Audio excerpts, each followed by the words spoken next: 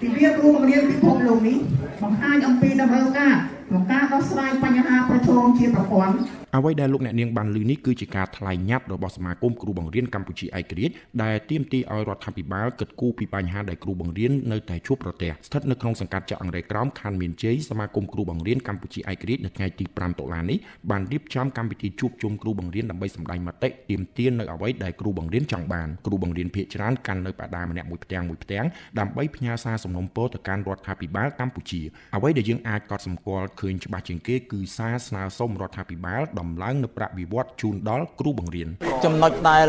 ក្រសួងអប់រំមិនទាន់បានដោះស្រាយជូនដល់គ្រូបង្រៀនបញ្ហាដែលយើងចង់លើកឡើងទី1គឺបញ្ហាដំឡើងប្រាក់បៀវត្ស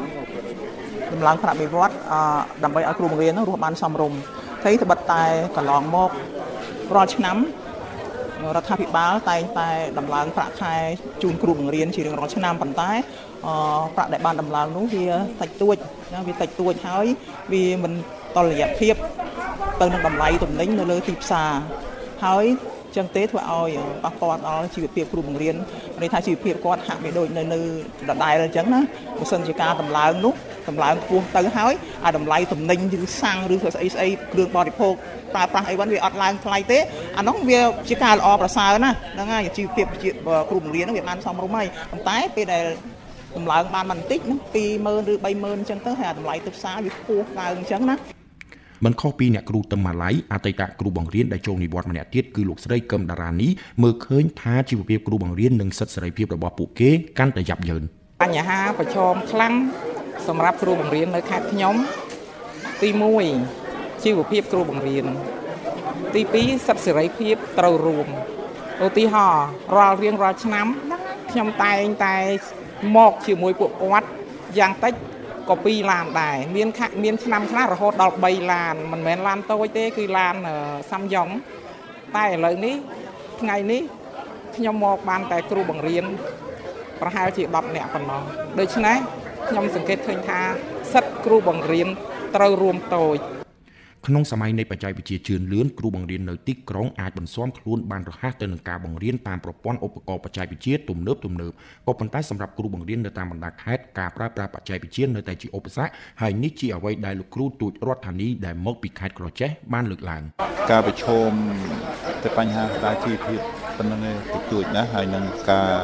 អនុវត្តការងារបង្រៀនរាល់ថ្ងៃវា វាគាត់ថាដោយសារតែទំនើបកម្មណាទំនើបកម្មនៃការងារហើយនឹងការវិវត្តគឺហៅថាគុណវុឌ្ឍអប់រំណាបាទធ្វើឲ្យមានការរអាក់រអួលបន្តិចតែប៉ុណ្្នឹងឯងបាទ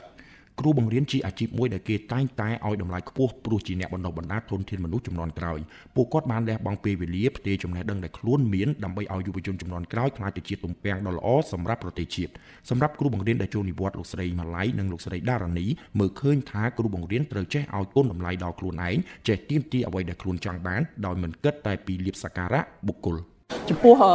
គ្រូបង្រៀនគុណតម្លៃគឺគ្រូបង្រៀនត្រូវតែគោរពក្រមសីលធម៌វិជ្ជាជីវៈជាគ្រូបង្រៀនទៅបង្រៀនតាន់ម៉ោងណាហើយ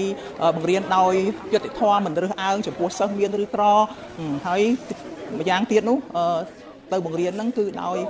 មនសិការចង់ឲ្យសិស្សចេះដឹងចង់ឲ្យប្រទេសជាតិរីកចម្រើនអ្វីដែលគាត់ធ្វើត្រូវតែផុសចេញពីមនសិការរបស់គាត់ណាទៅការបង្រៀនរបស់គាត់មានគុណភាពបើសិនថាបង្រៀនទូទាត់នឹងប្រាក់ខែអញប្រាក់ខែប៉ុណ្ណឹងអញបង្រៀនតែប៉ុណ្ណេះនៅតែប្រាក់ខែប៉ុណ្ណោះអញបង្រៀនប៉ុណ្ណោះអាហ្នឹងទៅអត់រួចទេតើតែការបង្រៀនហ្នឹងផុសចេញពីដួងចិត្តមានមនសិការក្នុងការចង់ឲ្យសិស្សចេះដឹងអានោះហើយទៅការបង្រៀនហ្នឹងមានគុណតម្លៃការរួមតូចរបស់សិស្សពួកគាត់នេះហើយជាការដែល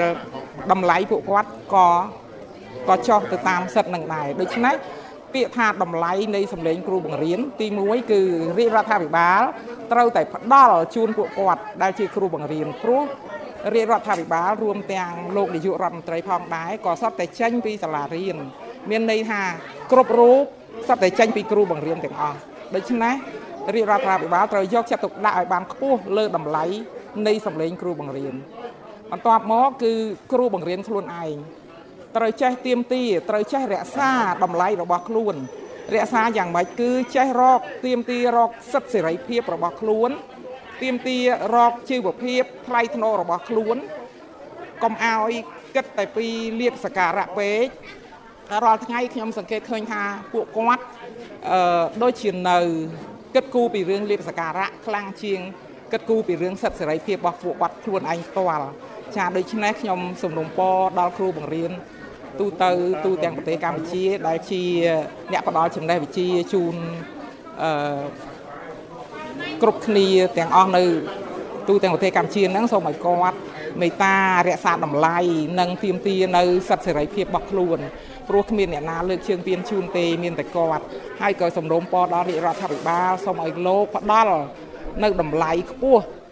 ដល់លោកអ្នកដ៏មានគុណគឺគ្រូបង្រៀនរបស់ពួកគាត់នឹងផងដែរ អង្គការឃ្លាំមើលសិទ្ធិមនុស្សអន្តរជាតិ Human Rights Watch នៅថ្ងៃទី4ខែតុលាឆ្នាំ2024បានចាត់ទុកការចាប់ខ្លួនពលករខ្មែរដែលធ្វើការនៅម៉ាឡេស៊ីពីសំណាក់រដ្ឋាភិបាលកម្ពុជាថាជាការរដ្ឋបិទសេរីភាពនៃការបញ្ចេញមតិនៅក្រៅព្រំដែនកម្ពុជាការលើកឡើងបែបនេះធ្វើឡើងក្រោយពីកម្ពុជានិងម៉ាឡេស៊ីបានសហការគ្នាចូលចាប់ខ្លួនពលករខ្មែរម្នាក់យកមកដាក់ពន្ធនាគារនៅកម្ពុជាបន្ទាប់ពីពលកររូបនោះបានរិះគន់ខ្លាំងៗអតីតនាយករដ្ឋមន្ត្រីលោកហ៊ុនសែនលើបណ្ដាញសង្គមអង្គការសិទ្ធិមនុស្សអន្តរជាតិ Human Rights Watch ដែលមានទីស្នាក់ការនៅទីក្រុងញូវយ៉កបានវិតម្លៃថាការចាប់ខ្លួនពលករខ្មែរឈ្មោះនួនទឿនដែលធ្វើការនៅប្រទេសម៉ាឡេស៊ីកាលពីថ្ងៃទី28កញ្ញាជាករណីចុងក្រោយរបស់រដ្ឋាភិបាលកម្ពុជាដែលរដ្ឋបិទសេរីភាពនៃការបញ្ចេញមតិនៅក្រៅហួសពីព្រំដែនរបស់កម្ពុជា Human Rights Watch អះអាងថាអាញាធរកម្ពុជាបានកំណត់គោលដៅម្ដងហើយម្ដងទៀតតាមចាប់អ្នករិះគន់ដែលរស់នៅក្រៅប្រទេសទង្វើនេះត្រូវបានគេចាត់ទុកថាជាការគៀបសង្កត់ឆ្លងប្រទេសនេះបើតាម Human Rights Watch ទោះជាយ៉ាងណាអង្គការឃ្លាំមើលសិទ្ធិមនុស្សអន្តរជាតិដដែលនេះថាការចាប់ខ្លួនពលករខ្មែរឈ្មោះថានួនទឿន